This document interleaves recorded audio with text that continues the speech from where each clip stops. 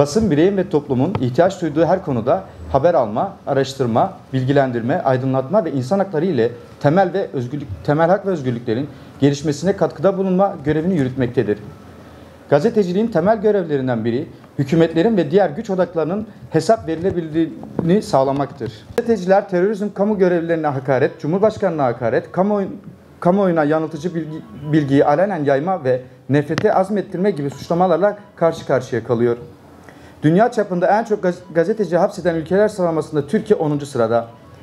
Bölgemizde yaşayan ve depremlerin ardından afet bölgelerinde haber yapan gazeteciler gözaltına alınıyor ve bazıları hükümetin müdahalesini eleştirdikleri için dezenformasyon yasası kapsamında tutuklanıyor.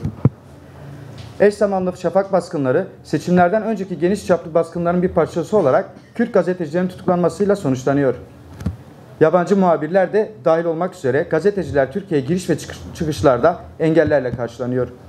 Birçok muhabir özellikle seçimleri, gösterileri ve depremden etkilenen bölgeleri haber takip ederken polis, özel şahıslar, kamu görevlileri ve onların koruma göre- görevlileri tarafından fiziksel şiddete maruz kalıyor.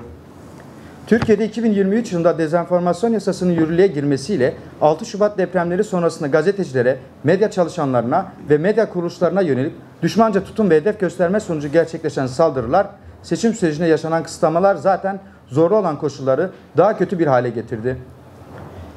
İş yerinde üyelerimizin de olduğu 28 gazeteci hala tutuklu durumda.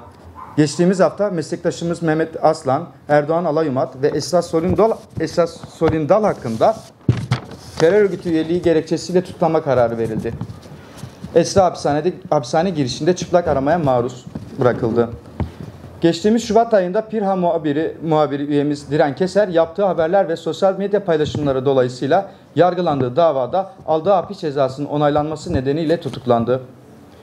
Türkiye'de gazeteciler üzerinde artan baskı ve soruşturmalar medyanın bağımsızlığını tehdit eden ciddi bir sorun haline gelmiş durumda. Bizim için 3 Mayıs Dünya Basın Özgürlüğü Günü bir mücadele günüdür. Türkiye'de halkın haber alma ve haber alma hakkını savunmakta ısrarcıyız. Bu vesileyle tekrardan hatırlatmakta yarar görüyoruz. Haber alma hakkı, ifade hürriyeti ve basın özgürlüğünün önündeki engeller derhal kaldırılmalı ve yurttaşların temel hak ve hürriyetleri çerçevesinde yeni bir yasal düzenleme yapılmalıdır. Ve disk basın iş çatısı altında toplanmaya, mücadelemize omuz vermeye davet ediyoruz. Türkiye Basın Yayın Matbaa Çalışanları Sendikası.